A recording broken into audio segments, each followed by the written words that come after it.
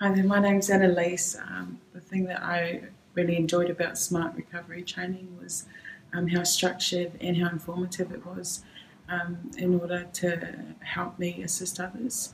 The thing that attracted me to the um, SMART program is that, as a former psychologist, um, I like the fact that it's evidence based, it's based on good practice. I found that the training was very attractive and the role plays were really good to experience what it'd be like actually um, running a group.